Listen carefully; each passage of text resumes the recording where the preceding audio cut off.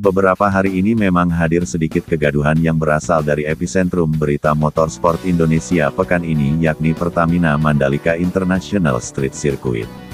Telah banyak tersebar video potrait yang isinya semacam kegiatan unboxing motor balap dari peti kargo yang dilakukan oleh seseorang yang tidak berpakaian adat, Bea Cukai, yang isinya merupakan motor Ducati Panigale V4R dengan nomor start 21 tunggangan Michael Ruben Rinaldi. Video ini mendapat banyak tanggapan dari netizen terutama yang sangat cinta banget sama negeri ini dan juga sirkuit yang telah dibangun dengan dana yang tidak sedikit. Netizen menyayangkan hadirnya kegiatan ini yang mereka anggap hanya memiliki latar belakang untuk membatasi konten media sosial saja. Postingan konten di sumber utama media sosial sudah diambil oleh sang pengunggah video. Dan pengunggahnya sendiri sudah melakukan klarifikasi, permintaan maaf serta pengakuan rasa bersalah dan pernyataan bahwa hal tersebut tidak dapat berefek bagus bagi pihak promotor lokal kita.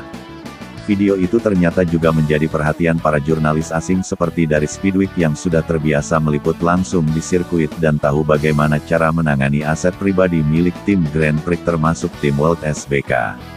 Seharusnya memang yang bisa membuka peti tersebut adalah bea cukai yang memiliki tanda khusus dan tim itu sendiri untuk menghindari spionase dan material yang tidak begitu baik Speedweek.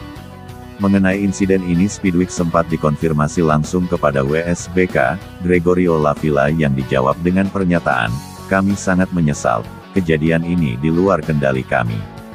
Lavilla juga mengatakan bahwa efek lanjut dari insiden ini adalah staf yang terlihat pada video itu sudah berdiri, atau, dipecat, jika kita pakai bahasa dari Speedweek.